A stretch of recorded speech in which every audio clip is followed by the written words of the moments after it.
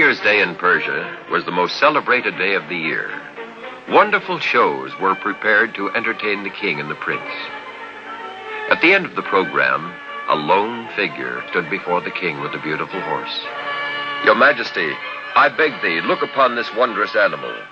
It is not real, but an ingenious machine that will carry me anywhere I wish, just by turning a peg. Uh, well, if true, it is indeed a wonderful animal. What is the price? It is not for sale, sire, but I would exchange it for a portion of your kingdom. Well, for such a trade, I must know more about this horse. My son, Prince Brahma, will test the animal for me. The owner started to show the prince how to control the horse. But before he could tell him all, Prince Prama turned the peg, and away he flew. He doesn't know how to bring it back. It's a trick to kidnap the prince. Throw this man in jail until my son returns. As the horse's owner was taken away, the king scanned the skies for the flying prince, but he was out of sight. High above the clouds flew the enchanted horse with the frightened prince. He traveled hundreds of miles, but he couldn't control the animal. He twisted the peg, but the horse continued to fly upward and onward. At last he found a small knob behind the animal's ear. He gave it a turn, and the enchanted horse started to descend. As he came closer to earth, the prince saw he was in a strange kingdom. I will be in danger if I'm found, but I can't control the horse. The amazing animal carried Prince Brahma toward a palace courtyard. After I land, I'll turn the peg, and maybe it will fly away again. Perhaps right back to my own country. So intent was the prince on the controls that he didn't watch the archway through which the horse flew. He was knocked off the horse into a courtyard. No one saw him, and while everyone crowded about the mysterious horse, Prince Prama hid in a room.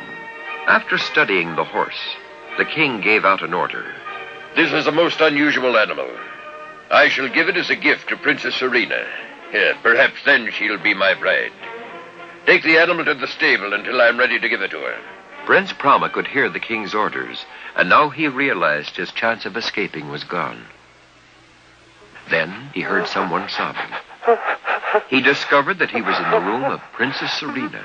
She was the most beautiful girl he had ever seen. She looked up and saw the prince staring at her. Who are you? I'm Prince Brahma. I come from far away. Don't let them know I'm here. Oh, did my father send you to rescue me from King Agmir? No, but perhaps I can help. Tell me how you came to this place. Princess Serena then told Prince Brahma the story of how she was captured by the powerful King Agmir. She must marry him or be put to death. I have an idea. If you pretend to be ill, the king will have to postpone any decision until you're well. I'll hide out in the city and return when the time is right.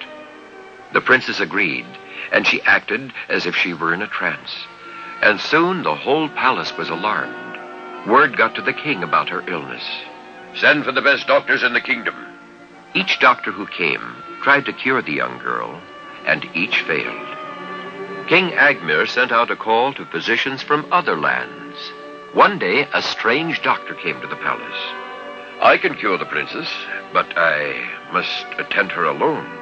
When the doctor was alone in the sick girl's room, he spoke to her. Princess Serena, arise, for it is time for us to leave. Prince Brahma. It is you? Yes, Serena. But we must play the game for a while yet. Now we will see the king. Sire, you see she is almost cured already. Now, some special, unusual gift from you may complete the treatment. How fortunate. I have been saving a most unique horse to give to the princess. So the enchanted horse was brought to the palace. It's beautiful. May I sit in the saddle? Of course, my dear. It's yours. Prince Prama helped Princess Serena up on the horse. Then he turned to the king. You see, sire, she is cured. Now for my fee. Of course, good doctor. What is your wish? I wish the princess myself.